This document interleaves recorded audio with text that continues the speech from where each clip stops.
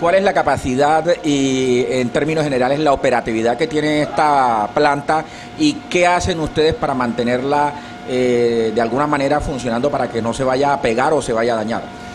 La planta fue construida con dos líneas de incineración eh, para una capacidad total de incineración de, 80 toneladas diarias de incineración, con, el, objeto de incinerar toda la basura que, entra en, el día, que son aproximadamente unas 45 toneladas, y, e ir retirando de lo que ya se encuentre dispuesto, también comenzar ya a disminuir el pasivo que se encuentra acumulado.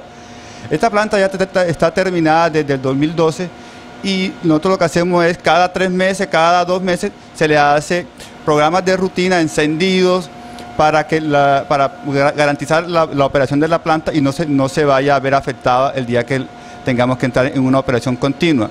Esto, no, esto que obliga a, estar incurriendo en unos costos, primero de sostenimiento, de sostenimiento del personal, porque tenemos un, personal base que ya Sopesa formó por una planta que no está operando, pero que Sopesa no libera porque no sabemos en qué momento vamos a comenzar a operar. Entonces nos obliga a tener ese personal contratado y para sostenimiento de la planta para el momento que se requiera utilizar la planta como estamos haciendo hoy, que le estamos colaborando a la Fiscalía en un proceso de, con una sustancia para incinerarla con todo el personal calificado que tenemos. O sea que tres años después hay esperanzas de que esta planta sí vaya a ser prendida regularmente para poder eliminar toda esa basura que tenemos acumulada y la nueva que estamos generando también. Esta planta está... expectativa está, está al 100% funcional para comenzar a trabajar el día que ya nos digan eh, ustedes pueden eh, hacer uso de, los materiales, aquí están los materiales que ustedes requieren, la planta está en óptimas condiciones para entrar a operar. Venga, ¿esta es la primera incineración que se hace en esta unidad? No, ya le hemos colaborado anteriormente, en, de, esta sustancia le hemos colaborado en varias, ocasiones a la Fiscalía, en, atención a, perdón, a una prueba que, una orden judicial del tribunal también operamos tres días con un, material que Sopesa eh, separó y clasificó con sus propios recursos casi operamos tres días y ya previamente habíamos operado también casi un mes, pero se nos acaba, ya se nos acabó la, los materiales que, que, Sopesa había separado. Eso, Sopesa le tienen que entregar el material, entonces ya Sopesa no puede seguir incurriendo en más costos para seguir haciendo pruebas, entonces ya, ya es hora que le entreguen el material. Y, entonces cuando hacen eh, pruebas la están haciendo al vacío. No, eh, los mantenimientos lo que hacemos es al vacío, es, calentar los hornos, llevarlos a la temperatura ideal, lenta y después comenzar otra vez en 48 horas en la etapa de enfriamiento, probar que todos los equipos estén funcionando. Bien, eh, ¿cuál sería el llamado de Sopesa eh, sin que esto se eh, vaya de pronto a tomar como una interferencia o como una intromisión en los asuntos que le competen a las demás entidades, como el caso de la Asamblea Departamental, que es quien tiene que aprobar esas facultades para que el gobierno departamental pueda contratar al operador del relleno sanitario? Uno es que demostrar que la planta está funcionando, la, planta está operando, no es lo que se ha dicho que la planta no está funcionando, que es un gran elefante blanco, no, la planta está operativa, está en capacidad de entrar a operar, en cualquier momento. Esto es una actividad, un apoyo que nos pidió la Fiscalía hace 48 eh, horas, nos demoramos 48 horas para poner, conseguir las temperaturas para hacer el proceso y ya estamos operativos. Eso es uno. Y dos, es que se vea que la, solución existe, la, solución la tiene Sopesa, pero que se requiere de unas condiciones, eh, la basura para que sea entregada a Sopesa. No es, Sopesa se va, a convertir como la, persona, la entidad que va a recibir toda la basura sin clasificar, sin separar. la basura se le debe entregar con unas características que Sopesa eh, está requiriendo.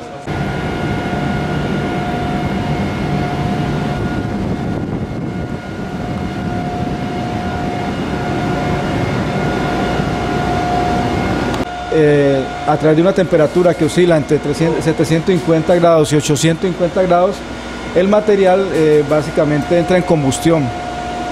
Al final de la cámara eh, tenemos el material se hace termodestruido y al final de la, de la, cámara de combustión, en la cámara de cenizas, tenemos los rechazos. El resto del proceso es simplemente para el tratamiento de los gases de, escape, para que no contaminen, para que no salgan a, una temperatura indebida o que no salgan con algún material indebido hacia la atmósfera. Eh, posteriormente la, de la cámara de combustión tenemos la cámara de postcombustión. Eh, en esa cámara eh, los gases están a una temperatura eh, que oscila entre 500 y 1200 grados centígrados, de, acuerdo al material que estemos tratando, y para, eh, eso es para el control de dioxina y furano. Posteriormente venimos eh, al reactor, en el reactor aplicamos una lechada de cal, agua y cal, primero para neutralizar los gases de escape y segundo también para bajarle la temperatura al proceso. Eh, en esta parte vemos de que posteriormente al, reactor vemos una temperatura ya más baja, del orden de 200 grados centígrados, cuando iniciamos el proceso en 800 grados centígrados. Luego del reactor tenemos el, filtro, el Venturi, que el, Venturi es un, sistema para aplicar carbón activado, ahí se acaba de neutralizar los, gases de escape. Posteriormente tenemos el, filtro de mangas.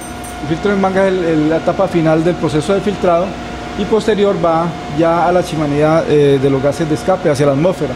Tenemos en línea un equipo de, monitoreo en tiempo real de los parámetros que nos, nos controla la entidad ambiental.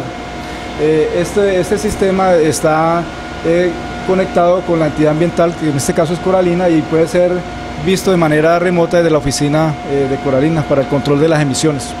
Ingeniero, como de alguna manera el segundo propósito de la planta es generar algo de energía eléctrica. ¿Ustedes ya están deseosos poner a operar esta máquina, esta planta? Sí, correcto. El deseo de Sopesa es poner a operar eh, toda la planta. Realmente la planta está en condiciones operativas y, nosotros eh, tenemos acá básicamente un pasivo de personal, eh, un esfuerzo grande que hace la empresa sin que cumpla el objetivo de la planta.